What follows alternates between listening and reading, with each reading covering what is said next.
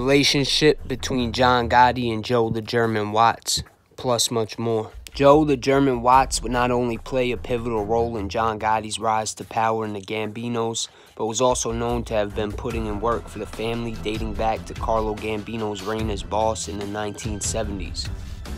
Joe Watts would serve as a useful tool for three different bosses, including Paul Castellano, who he would later help take out on that fateful December night outside of Sparks Steakhouse, which would bump John Gotti up to boss of the Gambinos.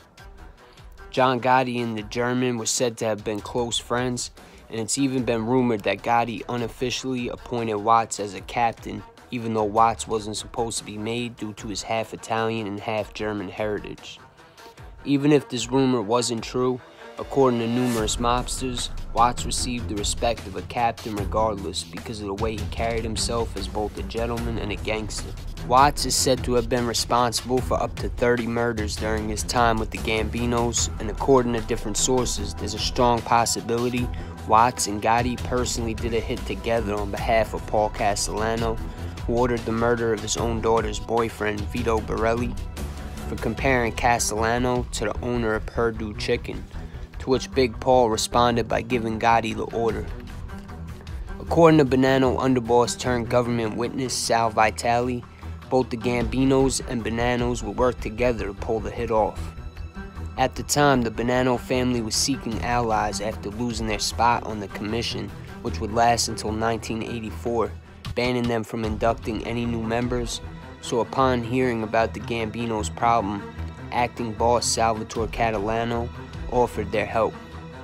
Borelli in the past had been put on record with the Bonannos by then imprisoned boss Philip Rastelli and had dated his niece, so they would use that to their advantage. Two Bonanno captains, Joe Massino and Dominic Napolitano, were summoned to assist. From there, they would have Bonanno soldier Anthony Rabito lure Borelli to his cookie shop warehouse at 308 East 53rd Street in Midtown Manhattan, where he would be met by John Gotti and Joe Watts and would be shot to death. At the time, Gotti was acting captain of the Gambinos and Watts was an associate. The two Bonanno captains waited outside as lookouts.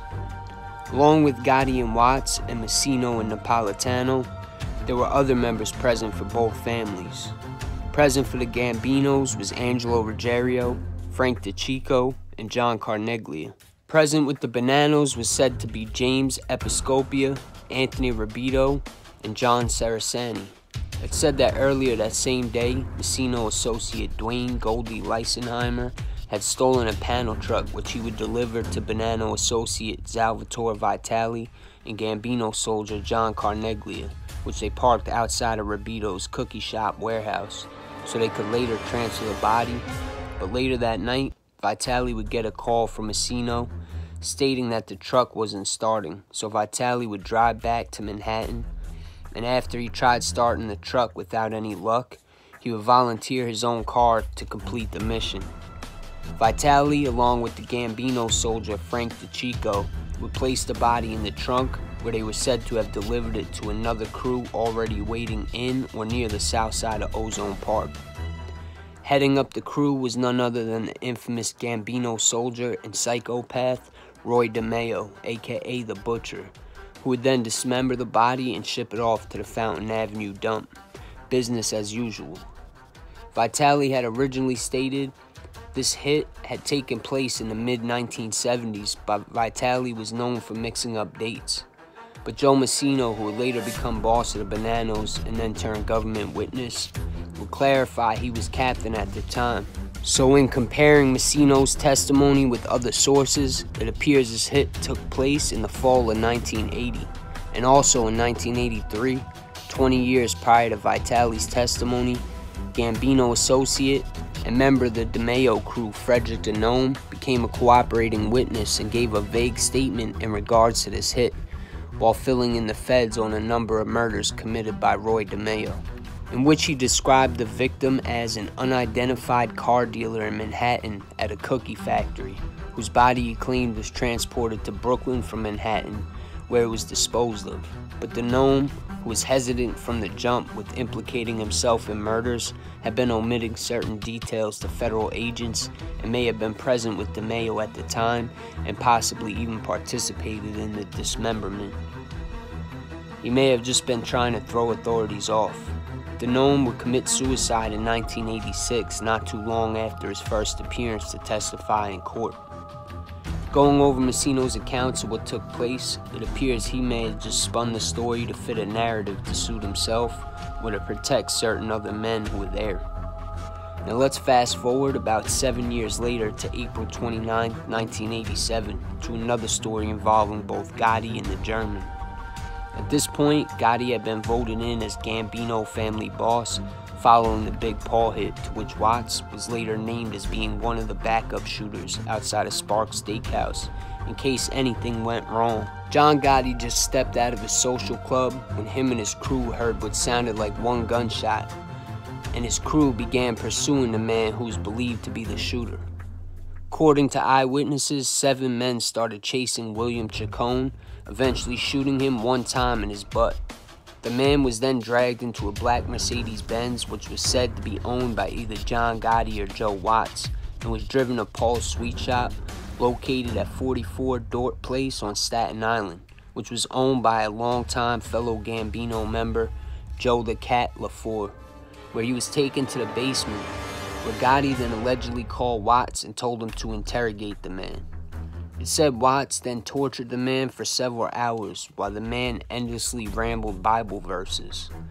Watts would then call Gotti and tell him the guy was a religious nut, to which Gotti allegedly replied by telling Watts to kill him. Early 4.30 the next morning, on April 30th, 1987, police responded to a possible break-in at Paul's Sweet Shop because of broken hinges on the door. Upon entering, police discovered Chacon's body badly beaten and shot at least four times in the face and then stuffed into a mortician's bag.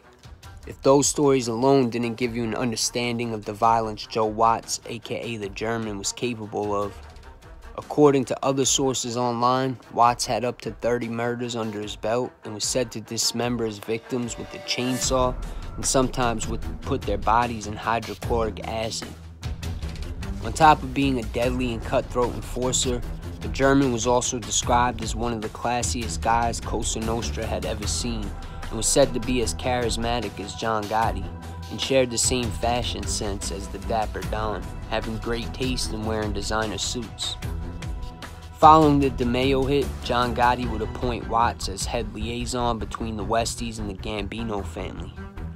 Throughout the years, the Westies are said to have killed up to a thousand different people on behalf of the Gambino family, which came to an end following the conviction of Westies boss Jimmy Coonan on charges including 23 counts of murder, plus several counts of bombing, kidnapping, arson, extortion, witness intimidation, and juror intimidation after his former partner Mickey Featherstone turned government informant after being framed for a murder by his old boss, Jimmy Coonan. Another infamous incident regarding the Dapper Don and the German is the time Gotti had Watts tell Frank Sinatra if he ever stood up John Gotti again, Watts' face would be the last face he ever seen, after Sinatra had invited Gotti to a show at Carnegie Hall with the promise of having a VIP dinner backstage. Sinatra canceled the show claiming health issues, but that same night, when Gotti and his crew were out to eat at the Savoy Grill, Sinatra unknowingly came walking through the door laughing and smiling. Also, after the hit on Big Paul and Thomas Bilotti, Gotti gave Watts Bilotti's loan sharking operation, which Watts was said to have made 30000 a week from.